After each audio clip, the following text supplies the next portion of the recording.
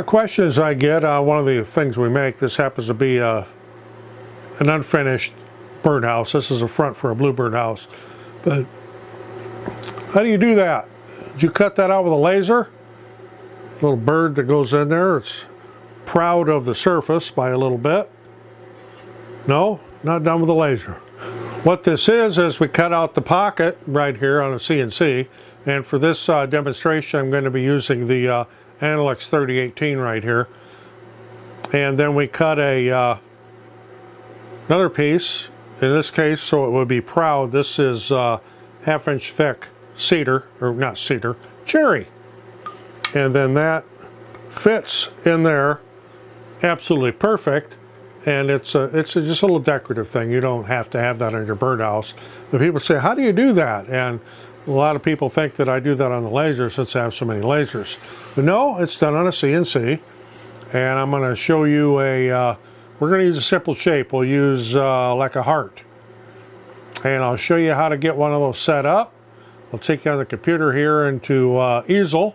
We're going to use free software. Everything I'm doing here is going to be free, so there's no charge for anything. If you're just getting started, this will give you a little bit of an idea how to do what's called an inlay. So let's go to the computer. So here we are in Easel, and I brought in a shape. It's a, a heart shape. Um, and, okay, where did I get that? Well, so we go here to the Pro Design Library, you can there's different designs you can bring in and some of them are free and the heart happens to be one of them and that's what I've already brought in here I just clicked on that and I brought it in so what I want to do here with my shape I'm going to make it three inches so there's my width is three inches my height will be 2.7 this is just for an example. Now for our first one here we're going to want to do clear out a pocket like so. And I'm using uh, I'm using pine actually here. We get down here to pine. It's in there somewhere?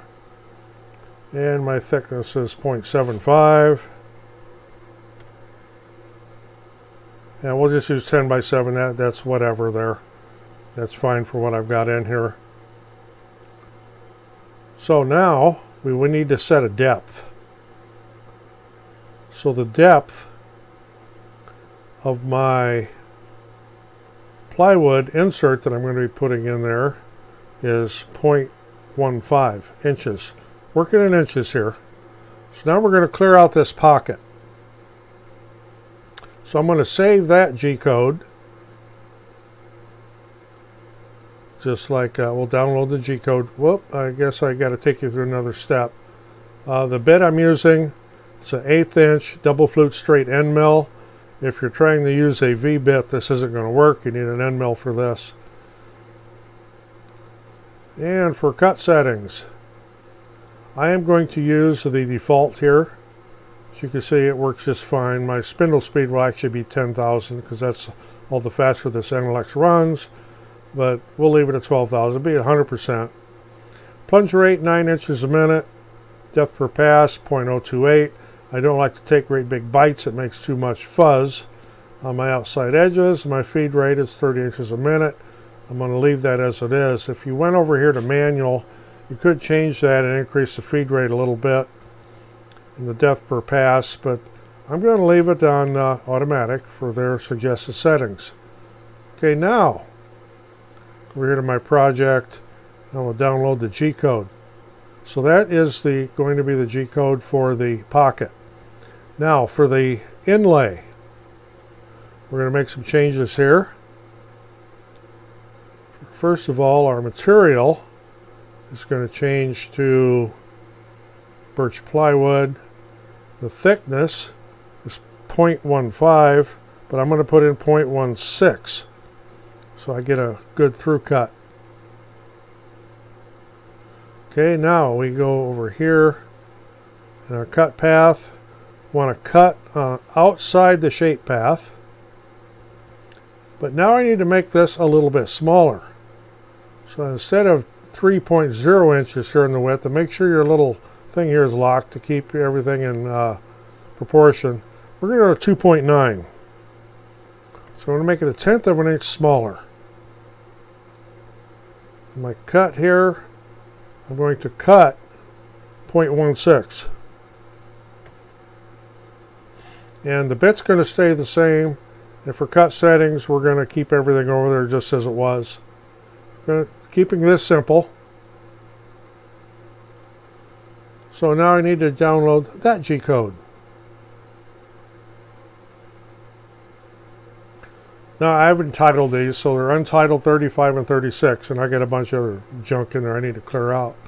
So there's our uh, two files we're going to be using. Here we are in Candle, so I'm going to open up. I got to close out what I got in here first. So there we go. So here we are in Candle. Going to open a file here. So the one we want to clear out that pocket in that pine is what is Untitled 35. So there it is right there.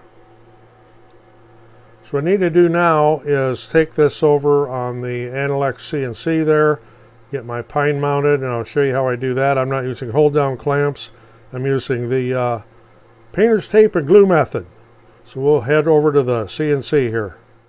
Okay, for the tape and glue method and CA glue method is we just take a few pieces of uh, blue painter's tape. Since I'm not doing a through cut, I don't need to go overboard here.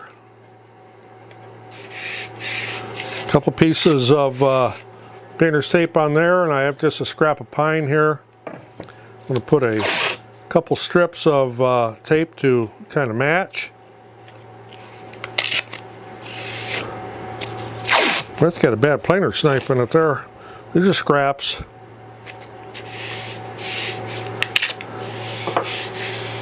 So what I'm going to do here is use some CA glue, and I've got, uh, this is, it doesn't matter what brand you use.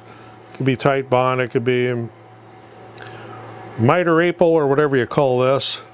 So what I do is I put uh, squiggle of glue on here, little squiggle of glue on here. Like I said, we're not doing a cut through. You don't have to get wild with it. Got some activator here, Instant Bond. This is Titebond. It doesn't match that brand, but they all work the same. Put a little spray on there. Turn this over, line up my tape. Set that down and hold it for a few seconds. Okay, so that's in there Guten tight. So now I'm going to jog this to get this down at a reasonable place to work from. Okay, now that I've got to uh, that point, I need to set my Z-probe here and make sure you have your settings all set up in Candle ahead of time. I've done some videos on that to get that calibrated and I need to raise my Z-axis up a bit there we go.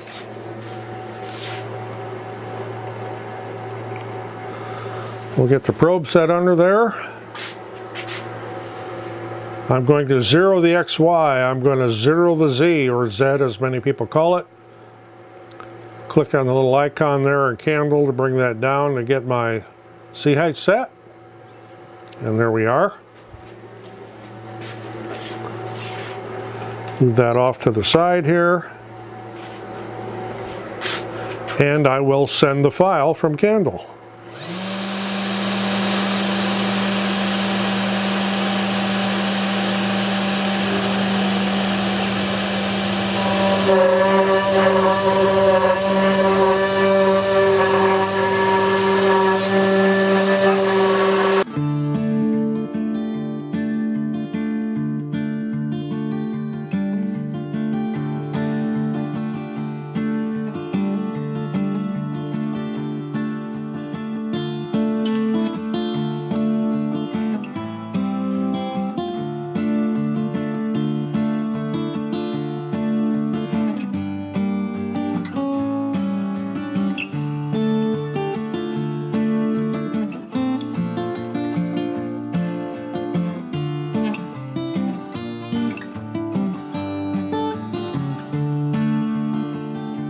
So there's our first uh, cut there. That's just the pocket. So what I need to do here now is bring this to the front.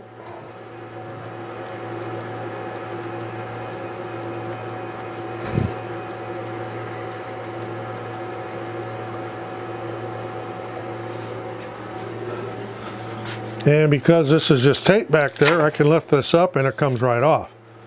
So this tape on the back, I'll just peel that off and I'll get this set up now for our little piece of plywood we're going to use for the inlay.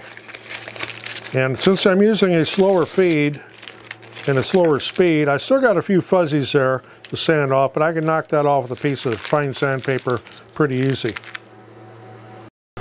So these little fuzzy things here, you get a little bit around the edges, this being a soft wood. It uh, is very easy to clean up. Here's just a little piece of sandpaper here, and those will come right off. Now I'll get this set up with my uh, piece of plywood. Setup here is basically the same. A couple pieces of tape. Of course, now we're doing a cut. So you want to make sure that you uh, have tape where you're going to be doing the cut or this piece could go flying because I did not use tabs. If you are using hold downs and you're doing a cut, make sure you include tabs. Of course, the difference disadvantage with tabs is you have to go back and cut them out later. That's why I like using this glue method here. Don't overlap your tape because that makes a hump. Let's get them right, get it right side by side. Again, uh, Get some squiggles of glue on here. You don't need to go too crazy. I'll spray my activator on the tape that's on the bottom. I'll set this in place. And I'll just hold it for a few seconds. Gives me time to put the cap back on the glue. Now I'll get the uh, spindle jog back to the front corner get the other file loaded. Okay, what I want to do now is zero my XY and zero my Z. Get my Z probe here, set it under here and get things set.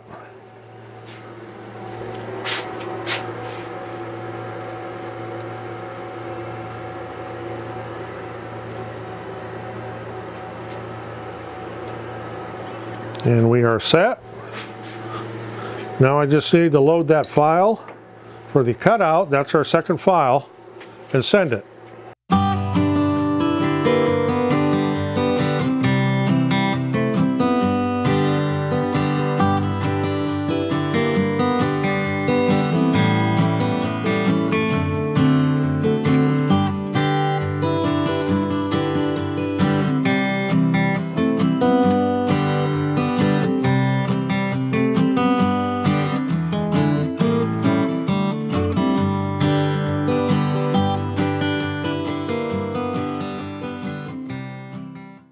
Okay, I got the fuzzy sanded off here, so there's our piece we cut out. This would be the inlay. Yeah, a little tiny gap there might have been for my sanding, but otherwise, uh, pretty much perfect inlay. Or I may have this flipped over upside down. It may fit better the other way, but now that I got it down in there, I got to get a knife to get it back out because it's a tight fit. Okay, I had it upside down. This is the, uh, there's the veneer tear outs from that. So I had it upside down before, and it is a very, very tight fit, and I'll show you that here in a minute. Now I'll show you some things you don't want to do, is if you make it, I'm going to use this darker colored one here, if you cut this out exactly the same size as the pocket, it's not going to fit. There's no way that would fit in there. It doesn't matter what you do. You need to make it a I do a tenth of an inch smaller. Now some have said that, well, if I cut on the inside or I cut on the line, it'll fit better. Well, yeah, it'll fit in there, but you've got a lot of, you've got, then you've got a gap all the way around it. So you don't want to do that. Instead by making it a tenth of an inch smaller, you're going to have a nice tight fit. Take one here that I've stained so you can see the contrast a little better. And once you press that in, get all these other things out of the way. You've got a nice flush inlay. No gaps around there, everything comes out really well. And I want to point out one other thing here too while I got it kind of closed up here. So there's a scrap of cedar. It's got that bird uh, pocket engraved in it. And I took the same piece of plywood. If you're doing something very small that has detail on it, for instance the beak on this bird, you either need to use a much smaller bit or you need to make your graphic bigger. Because using an eighth inch bit, as you can see, this isn't going to fit in there because the eighth inch bit cannot do the pocket for this little fine detail right here. I would have to go down to a 16th bit or smaller. So there's something to keep in mind when you're trying to do inlays. If you have fine detail, you're going to need a fine bit to go with it. So I hope that answers the questions on how I do these inlays. And as I showed here at the beginning of the video with these uh, birdhouse, actually this is the front of a bird, unfinished birdhouse, we actually put these in, we make them proud. It's a, kind of a decorative thing. But you can also set these up and do things completely flush like this. Uh, again though, you're going to need to uh, get things set up carefully. After you cut your pocket and you want to make your inlay, like I said, I make it a tenth of an inch smaller than the pocket. That lets me slip that in there and you, yeah, you're going to have some fuzzies around there depending on what kind of material you're using. You sand that off, it'll fit in there, you get a nice tight fit. And uh, you don't need a great big fancy CNC to do it. Uh, you don't need to spend $5,000 on a CNC to do something like this. Uh, I've got the Anolex 3018 right here. No, it doesn't have a huge work area, but it, for things like this, it works out really well. And I'll put a link in the description of where to get this. This is not sponsored by any means. I happen to have an Anolex 30, 3018 CNC, so I thought I'd break it out and use it. And as you could probably see from the spoil board on it, it's been used quite a bit. Uh, I don't use clamps. I use the glue method for most of these things. The tape and the glue method, it, it just works out better for me. Uh, on my big CNC, yes, I use the clamps, but on these smaller ones, tape and glue works just perfect. So if you got anything out of this, appreciate getting a thumbs up, always helps the channel. I'm Roger in the shop. Thanks for watching. See you on the next one.